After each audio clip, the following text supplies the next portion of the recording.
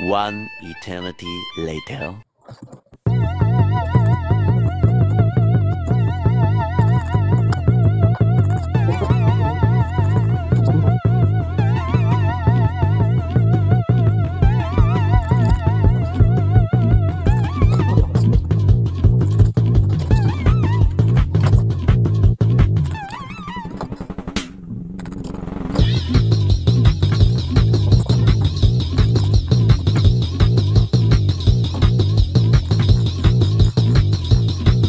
Thank you.